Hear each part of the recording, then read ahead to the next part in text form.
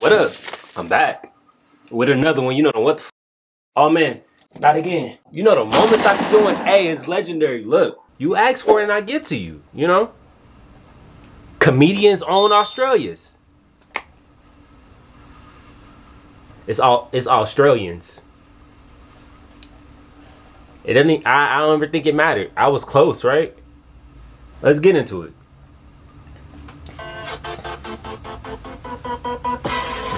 Wrong? Alright. Well, whereabouts in Australia are you from? Melbourne. Melbourne. So you weren't affected by the flooding, were you? Why he ain't say nothing? You sat so high up. Wait. I, we're- I'm here with uh, my family. Uh, we're traveling in Australia. Uh, This is too high, uh, and it's it's a jail. It's a jail. You all you're prisoners, and you don't like to talk Really? about it. You're sensitive about it. You want to forget the past and move on into the future, like every country that has a suspect past. You know, it's a totally inhospitable place. You shouldn't be here. Uh, The sun, you live about three quarters of a mile from it, and um, Why he over here telling them a, a great escape plan? Like, yeah, hey, just so you know, like, yo, you can go over here. You know what I'm saying? Y'all know y'all live in jail if you didn't know. But like, if you didn't know, now I'm telling you. You know what I'm saying? If you want to get out, blink once. hey, yo. Insects walking around with knee pads. Uh, you fling yourselves into the sea when you're not actually walking around audibly crackling in the heat, and uh, Is that hot? the sea is full of jellyfish and sharks and other things who hate you. But you persist in living here. So. We flew here, you know, and with the children and everything who pressing the buttons. that man seemed like he very disappointed once he got out there.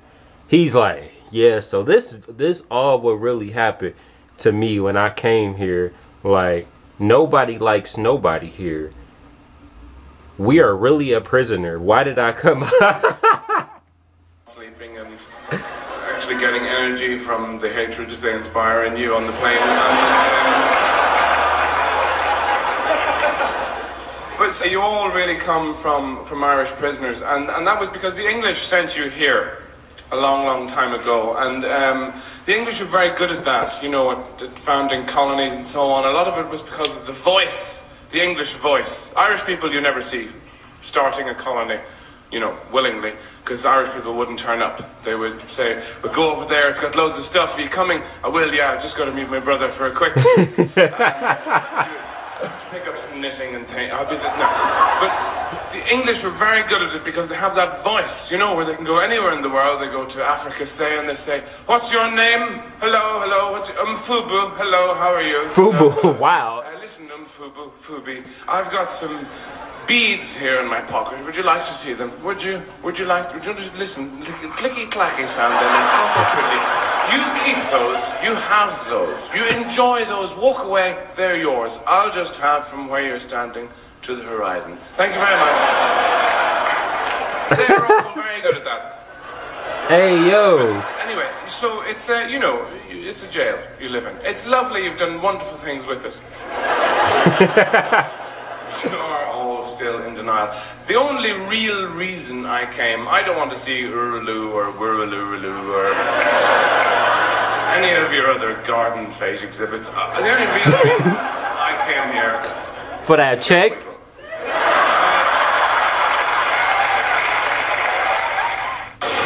Wild fucking country. I just learned what an Aboriginal was. That's cool. For the last week, I've been walking around like, man, black people out here love picnics, dog. What the fuck? Holy shit! Black people love picnicking, bro. Every time I see black people, they're fucking picnicking. Literally every time on the grass, picnic, picnic, picnic. Picnic, picnic. Black people in America do not fuck with fields. They got PTSD from that shit. That's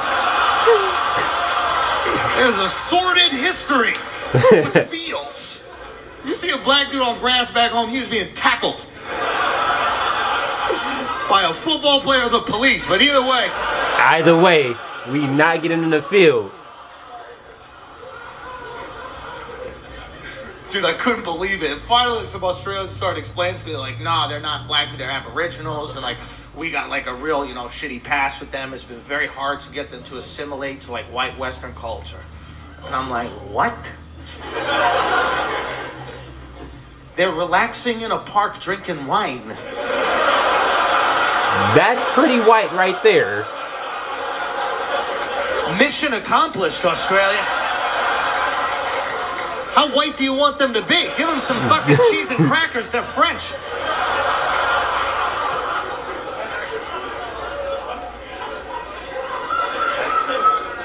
It's just crazy, man. I know you're not supposed to talk about them, so whatever. I won't talk about them. That's it. No more. No more Aboriginal jokes. Went to a we just cut club, him off right there. Stripper with pussy hair. That shit was crazy. I was like seeing a beeper again. I was like, what? Throwback Thursday, holy shit.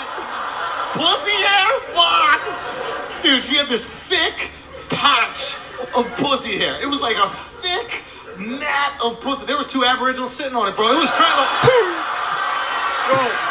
Hey yo, Andrew, wow.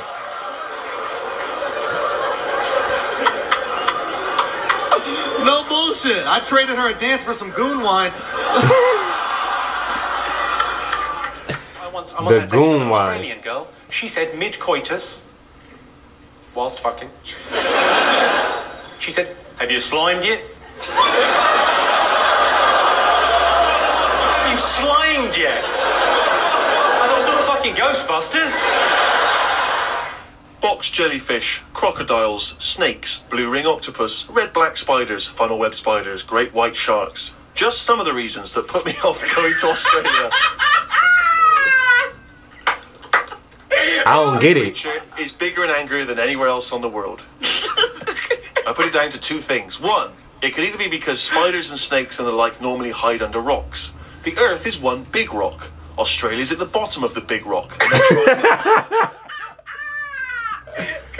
You are a maniac. It's just thinking about it, thinking about where spiders go and that, and that works, doesn't it? No, Why doesn't that work like because a there's rock? no real upside down and bottom of the earth, is it? It's all relative to what? It's relative to what? A map that you Well, saw. it's a coincidence, isn't it? It's no, right, okay, read on. I spent three years of my life in Australia. Okay. In actual fact, I didn't spend three years, I spent 18 months. But 18 months in Australia is like three years anywhere else. and they're very, the Australians are very proud of the country. I left London on Friday Okay. at 4.30 in the afternoon. I flew all through Friday, all through Saturday, all through Sunday, and I arrived after 36 hours on an aeroplane. Damn. I arrived and see my eyes are hanging out. And the fellow says, how did you find Australia? I said, I got off the bloody plane and it was there.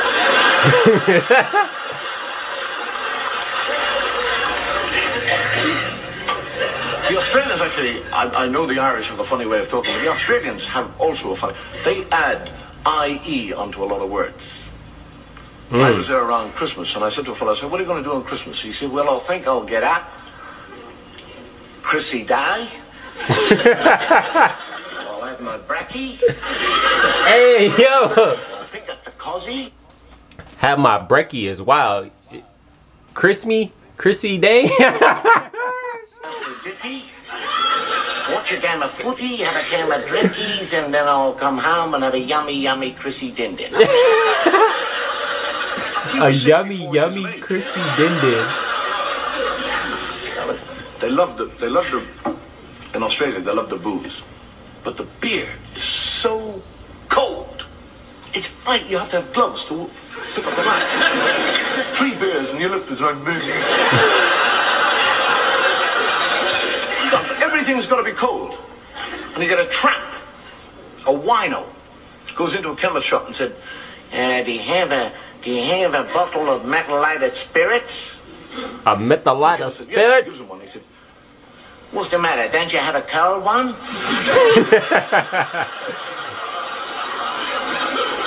they drink. They drink. I, I arrived there and somebody said, Would you like a schooner? I thought he was going to give me a boat. Hey, I could agree because it's like, yo, why would you want a, a lukewarm beer, that shit that that just seem nasty. Like if it's not cold, like why would you get it? Why would you want to drink it? And they're always telling me, they always, as soon as you arrive in Australia, they say, watch out for the sharks. And they don't say a shark will eat you or chew you up. Just said, watch out They for say he'll take you. He'll take You're take going to you. be taken by a shark. and I think to myself, well, if he takes me, he'll die of alcoholic poisoning. and I'm swimming. But in the back of my mind, sharks. You thinking about that shark? It's gonna take you. The fellow goes underneath me, swims on. I don't even see him, and he comes right under, and he goes with his finger shoo, down my stomach. Nobody swam in that sea for about three days. Damn.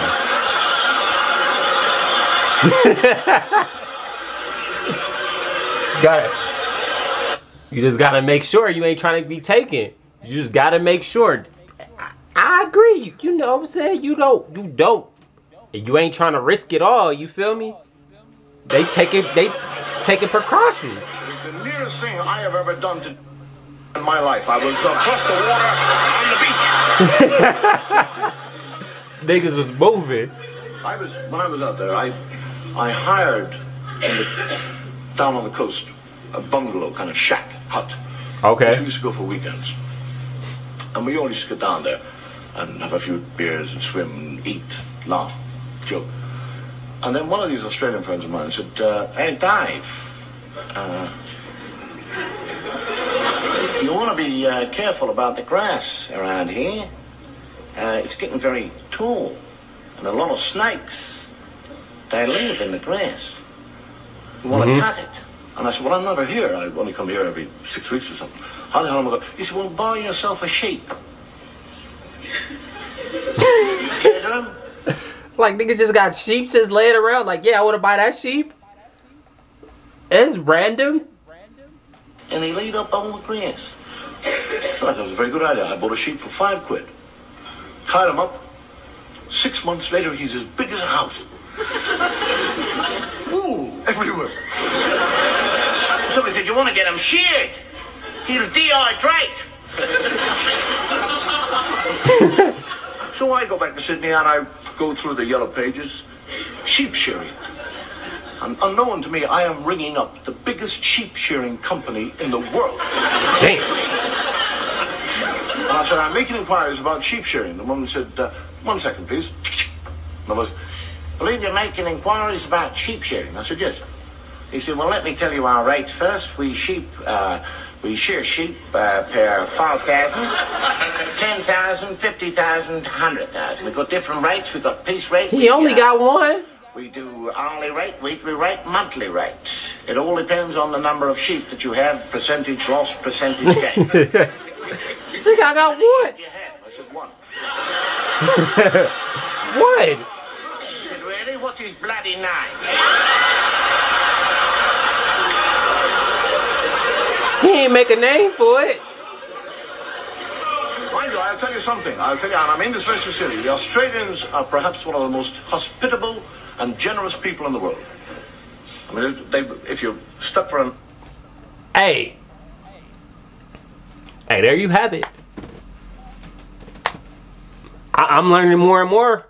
I'm learning more and more about how Australians work, how they get down. Hey, if you messing with the video, like, share, comment, subscribe, do all that. Have your post notifications on. Comment down below right now what you want to see me react to next. Until next time. Hey.